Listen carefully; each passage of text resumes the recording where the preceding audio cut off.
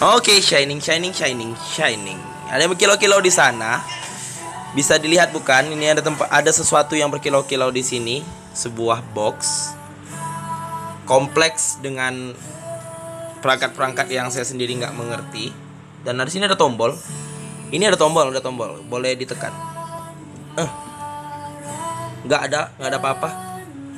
Ditekan tombol nggak ada apa-apa. Tunggu dulu, ini ada tulisan. Oh, masukkan koin, masukkan koin dulu. Oke. Kira-kira apa yang terjadi setelah kita masukin koin? Masukin koin tuh lubangnya di sini. Nah, lubangnya di sini. Ada tulisan.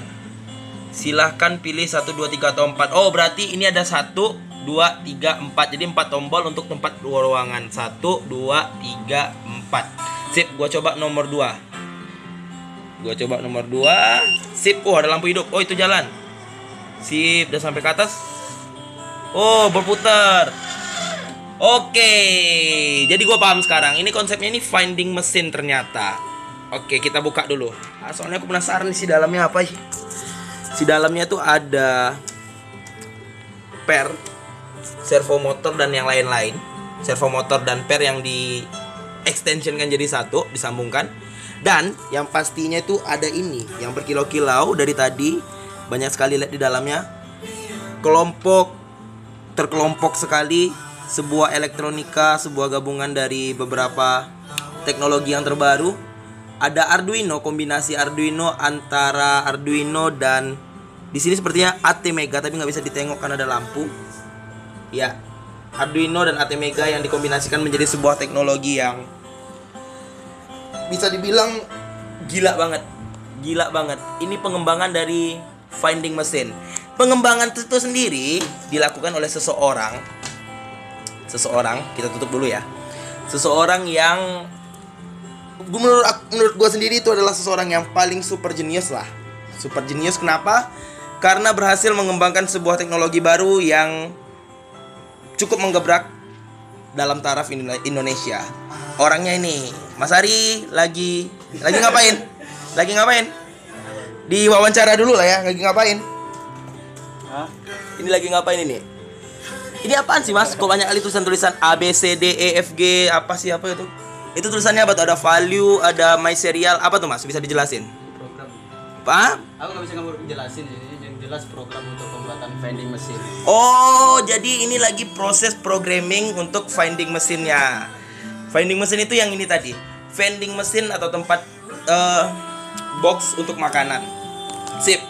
Jadi bisa nggak Mas dijelasin dulu vending mesin itu apa dan programnya itu dari apa? Nah, ini konsep vending mesin kita menggunakan Arduino dan ATmega yang di mana setiap program itu terintegrasi dengan mekanisme komponen yang terbaru kita pakai yaitu menggunakan ATmega 328 dan keluarganya gitu ya. Nah, hmm. ini bahasa pemrogramannya kita pakai yang C++ nya. Ini bisa kita tengok Nah, kalau untuk menjelaskan program ini mungkin butuh waktu seharian gitu ya. Ya, jadi Sebenarnya simpel programnya. Kita oh. hanya mendefinisikan program itu satu persatu kemudian yang untuk di bawah ini kita panggil apa yang sudah sudah didefinisikan di atas sip, gitu ya. sip sip sip jadi sip. sebenarnya simpel logika algoritmanya simpel karena apa yang saya pakai ini pemrograman C++ dia termasuk bahasa yang paling mudah paling mudah untuk diaplikasikan serta yang paling mudah untuk dipahami. Oh gitu. Kayaknya sih simpel. Ah, ah.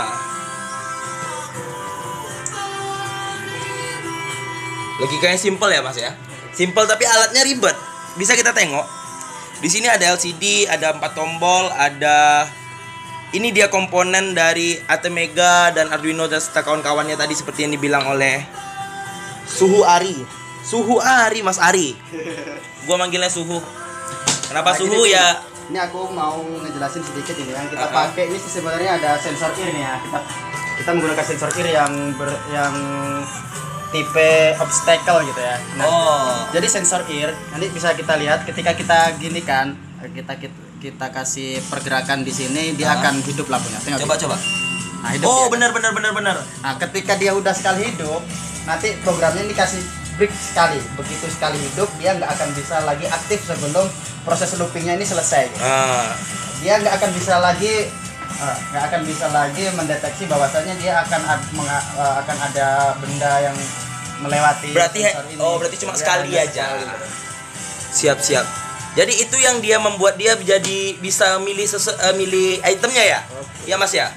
Oh gitu. Itu kan itu kalau bisa ditengok ada tulisan silahkan pilih item. Nah, jadi kenapa si box ini tadi dia bisa naik turun? Mungkin sebenarnya saya menggunakan motor stepper ya, motor stepper yang jenis unipolar. Jadi Aha. kenapa aku pakai yang jenis unipolar? Dia mudah diprogram dengan menggunakan apa ya driver eh, seperti apa drivernya? A499 sebenarnya. Oh, jadi ini motor stepper ya Mas ya? Bukan servo ya? Salah bilang saya berarti motor Ya, stepper. Nomor servonya yang kita pakai ini servo continue yang untuk memutarkan Oh, item. gitu. Ah, jadi yang untuk menaikkan menaik turunkan box ini kita menggunakan motor stepper. Oh iya iya iya iya berarti di motor stepper tuh ada di sini. Yang ini ada motor servo. Siap siap. Ada lagi Mas yang bisa dijelasin untuk alat yang dah Mas ciptakan ini ada ada saat ini salah satu alat yang telah diciptakan suhu Ari.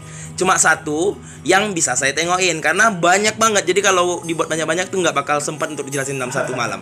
Sekitar ada 14 project 14 project ya. dan alhamdulillah ini yang pertama kita pegang dan terakhir kita sukses. Karena ya ini memang paling ribet kelihatannya ya. Oke, ini sih sebenarnya udah selesai sih. Udah selesai ya? Tinggal finishingkan aja lagi mungkin tinggal cat. Ah, ah, ah, ah.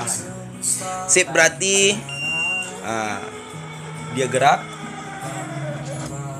Jadi dia akan bergerak. Oh.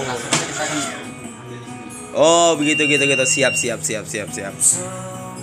Jadi kalau dia udah apa tulisannya itu Item selesai, item, sil- sampai silakan ambil. oh, jadi muter lagi ya. Ya, jadi daripada gua ganggu dia lagi program, mungkin cukup sekian. Dia ngelanjutin ngeprogram lagi. Sip, ngelanjutin program lagi. Gua nggak ngerti, itu banyak banget kata-katanya, tulisannya gua yang nggak bahasa robot deh gue bilang bahasa robot. Jadi apa nggak cari hiburan dulu mas? Oh iya. Kalau hiburan- eh, ini hiburan anak teknik. Oh, hiburan anak teknik. Oh, jadi ini dia hiburan anak teknik tuh ya. Robot, oh robot robot, oh fight robot, robotnya ber- apa berantem gitu ya. Jadi mentang yang dibuat robot, jadi robot yang berantem juga ditengoki gitu ya. Pokoknya nggak tahu aja, aku suka kali kalau nengok inspi- ini robot-robot yang berkelahi-kelahi kayak gini. Jadi Oh. kita dapat inspirasi. Oh sip, sip. Tengok lah itu robot bisa kayak ngatur kayak gitu. Memang logika algoritma itu nggak kebayang dari sama kita kan. Ah, ah, ah. Luar biasa. Sip, sip, sip, sip. Jadi kalau anak te- anak eh, kalau pemuda eh, kalau yang biasa biasanya nontonnya WWE ini nontonnya robot yang berantem. Oke oke oke oke oke. Oke oke sip sip sip. Jadi ya udah Mas dilanjutin lagi aja programnya. Cukup enggak? Tuh ngopi dulu deh. Ah iya. Ya benar. Yang gua selalu lupa, yang gua lupa ngeceritain kalau setiap program manu- eh, Mas Ari ini butuh sebuah atau secangkir secangkir kopi Buah. Eh, se- secangkir, Buah, buah, secangkir, bukan secangkir. buah. Oh ya, sebuah bukan buah. Jadi dia secangkir. Bukan cangkir. Oh ya, Segelas. segelas. Ah, segelas kopi berarti. Ngopi woi ngopi. ya, dia selalu ditemani oleh segelas kopi dan beberapa temannya yang bisa ditengok di sana. Oke, jadi daripada gua ganggu dia program, dia masih lanjut program. Last satu kata yang terakhir, eh, di mana pun anda berada, anda bisa berinovasi untuk apa pun. Salam dari anak teknik, robotik, duri, GMR, jaya terus. Dadah.